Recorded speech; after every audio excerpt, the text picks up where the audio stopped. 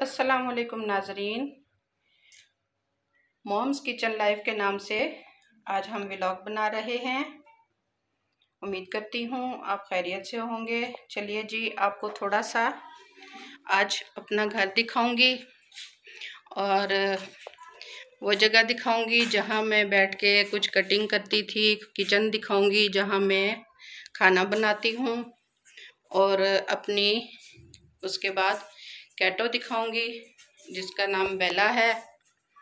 ये ये देखिए जी, ये, यहाँ बैठ के मैं कुछ सब्ज़ी काटती, कुछ बनाती, उसके बाद फिर ये किचन है मेरा।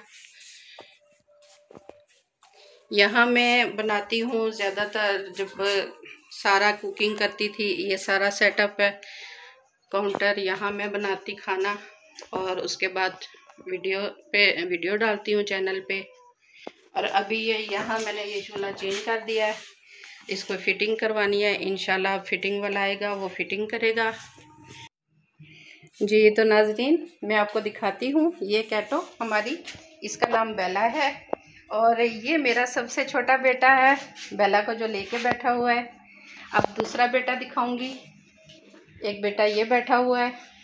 और ये हमने मंगवाई है बेला की।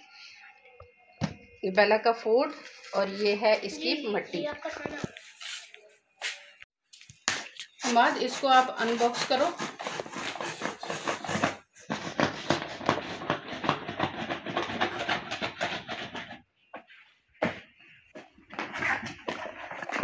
ये भी इसका कैट फ़ूड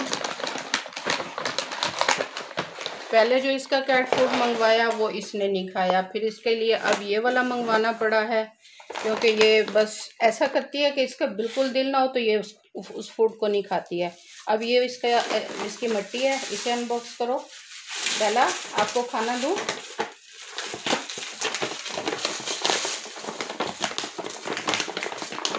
पहला ये ये ये ये ये अभी आपको देती हूँ। रुको ये लो। ये खाना है ना आपने? खाने लगी है। भूख लगी हुई है? ये बहुत दिनों से इसने भूख हड़ताल की हुई थी कि मेरा ये खाना नहीं, मैंने खाना दूसरा दो, जो मैं पहले खाती हूँ। देखें, अब ये खबर भी नहीं कर कि नीचे रखने का मौका दे। चलो बेला, ये लो, यहाँ पे खाओ।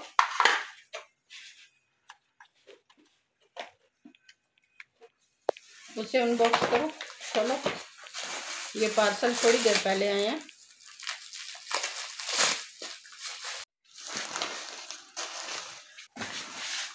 हाँ जी, ये है बेला की मट्टी। ऑनलाइन मंगवाई है। बस अब इसको बर्तन में डाल देंगे इसके में।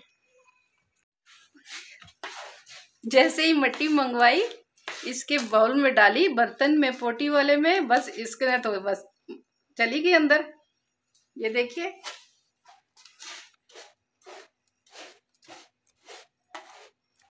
हमारे चैनल को सब्सक्राइब करें, वीडियो को लाइक एंड शेयर करें। इसके साथ ही इजाज़त दीजिएगा। नेक्स्ट वीडियो में फिर हाज़िर होते हैं। अल्लाह हाफिज़।